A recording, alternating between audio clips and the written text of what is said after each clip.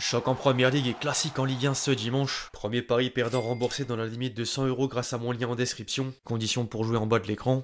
À l'issue du match France-Chili, il y a une soirée qui a débordé, on peut le dire, hein, puisque la police a dû venir sur les lieux, de trois joueurs de l'équipe de France.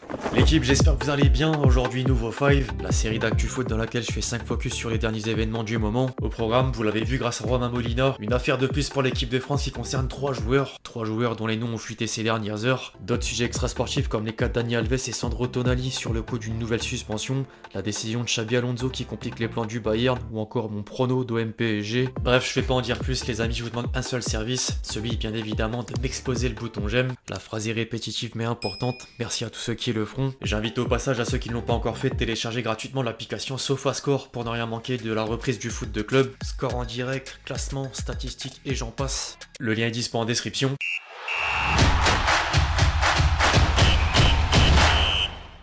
La reprise de la Ligue 1 commençait fort hier avec le derby du Nord. Lille a réussi à prendre le meilleur sur Lance grâce à un doublé de Zegrovois et occupe provisoirement la première marche du podium. Malheureusement pour moi en tant que supporter sans et or, les mots de la presse régionale sont véridiques. La victoire lilloise est logique au vu de l'écart de niveau entre les deux équipes. La phrase sera peut-être de retour pour le classique. En attendant, la pression monte petit à petit et le chambrage s'est déjà manifesté sur les réseaux sociaux. Le changement de photo de profil de Dembélé sur Insta avec les lunettes de Momoeni n'aura échappé à personne. La réponse ne s'est d'ailleurs pas fait attendre avec le lot de punchline en prime. Regardez à qui provoque, les gars, avec sa petite tête de fourmi, Ousmane Dembélé. Regardez la photo de profil qu'il a mis. Bon, pour une fois qu'il en met une dans le cadre, les gars, il a repris ma photo où à la base, je suis avec une chaise sur la tête et je marque, oh là, je suis bloqué. Oh, c'est ton compteur buteur qui est bloqué, Ousmane Dembélé. Marseille, c'est droit au but. Toi, c'est maladroit au but.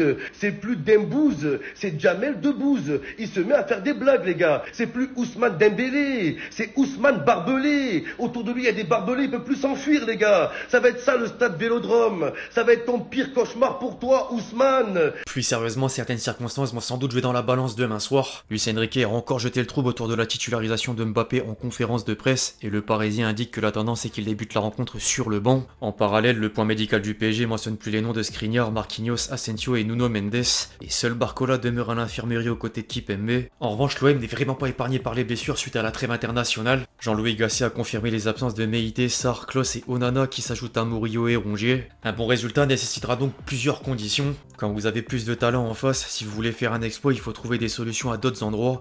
Là où on parle de collectif, il faut être beaucoup plus concentré, beaucoup plus agressif, habile avec le ballon, tenir le ballon pour faire courir l'adversaire et surtout être efficace à la moindre occasion. Il faut faire le match parfait, mais on l'a déjà fait. En dehors du terrain, les supporters marseillais sont derrière leur équipe en tant que 12e homme. Au passage, la billetterie affichée complet 3 heures à peine après l'ouverture et vélodrome enregistrera un record d'affluence avec près de 66 000 spectateurs. En parlant de stade, Koura partait sur le dossier autour du Parc des Princes. Le PSG a officialisé la volonté de construire un nouveau stade et trois candidats proposent de l'accueillir, dont Gonesse, Aulnay-sous-Bois et Montigny-le-Bretonneux. Bref, on en vient à mon prono. Il sera pas très original, j'avoue. De base, je voyais déjà Paris l'emporter, mais avec les forfaits supplémentaires pour Marseille, ma conviction est d'autant plus confortée, bien que tout peut se passer sur le terrain. La cote de la victoire parisienne est à 2 tout rond chez les copains d'Unibet. Les amis, si vous voulez me suivre, le lien en description intègre automatiquement mon code qui permet à un nouvel inscrit d'être remboursé dans la limite de 100 euros en cas de premier pari perdant. Vous connaissez également les conditions.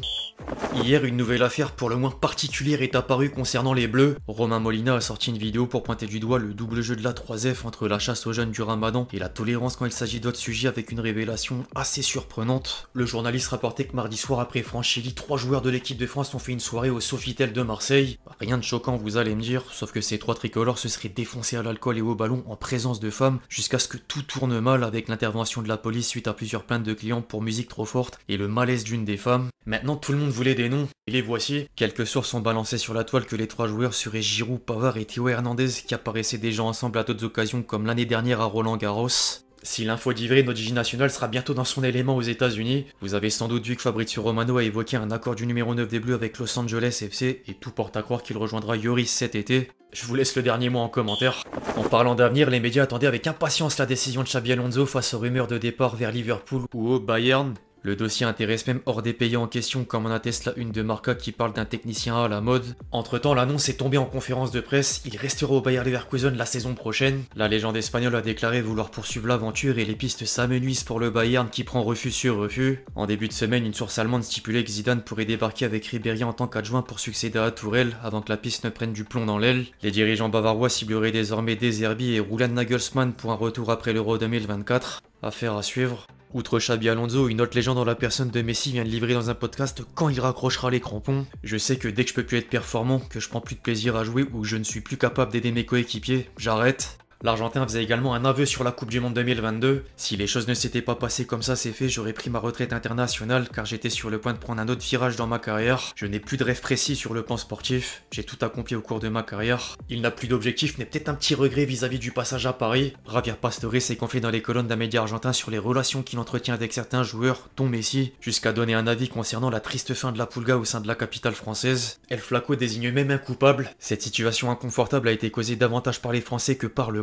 Cette situation inconfortable a été causée davantage par les Français que par le club, il a dit. Le club a essayé de se protéger parce qu'il sera toujours là et les gens continueront à aller au stade. Un club ne prendra jamais le parti d'un joueur parce qu'il a beaucoup plus derrière lui qu'un seul joueur, même s'il s'agit du meilleur joueur du monde. Les Français ont été très blessés par la Coupe du Monde, par beaucoup de choses, et ils ne lui ont même pas pardonné une mauvaise passe. Ils ont été rancuniers, ils l'ont sifflé, tout comme ils ont sifflé Neymar de manière incroyable. Le Français est difficile et il est difficile de le convaincre. Non moi l'idée de le contredire, mais un ancien joueur parisien, sud-américain et même argentin ne pouvait viser qu'une seule cible.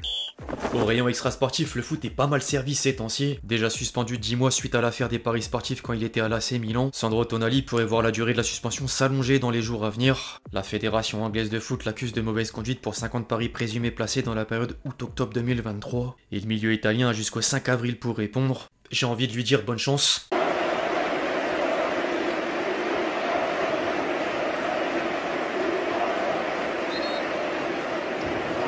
So it's because United 5, Aston Villa 1. The scorer, number 15, demands. On comprend mieux pourquoi il a pris ce carton jaune. Là encore, je vous laisse le dernier mot en commentaire. Avant de clôturer la vidéo, les amis, des nouvelles d'un certain Dani Alves. Vous êtes normalement pas sans savoir que la semaine dernière, le Brésilien a payé une caution d'un million d'euros pour sortir de prison de façon provisoire, et plusieurs médias ont lié l'affaire à Neymar. On pouvait notamment lire qu'il lui a avancé de l'argent. Le clan du Ney a néanmoins vite démenti la nouvelle, bien qu'il avait payé des frais d'avocat auparavant. Ensuite est venu le nom de Memphis de paille. Là encore, l'agent du néerlandais a démenti la rumeur dans les colonnes de Sport. Vous vous imaginez que de figurer aux côtés de quelqu'un condamné pour viol ternit l'image à juste titre. Par contre, la dernière information qui n'a rien à voir est bel et bien confirmée. Quelques heures après la mise en liberté, Dani Alves a organisé une fête chez lui avec les siens. Vous faites ce que vous voulez du scoop, mais voilà à quoi ressemble l'actu d'un merveilleux joueur au destin blâmable. Plus que blâmable, même. Bref, voilà l'équipe, c'est tout pour le 5 du jour. J'espère qu'il vous a plu. Je compte sur vous si c'est le cas pour lâcher votre meilleur j'aime sous la vidéo, comme d'habitude. N'hésitez pas à réagir dans les commentaires sur tous les sujets qu'on a pu traiter aujourd'hui. Puis d'ici là, on se retrouve très vite sur la chaîne pour de nouvelles vidéos. C'était Lexi. Ciao, ciao.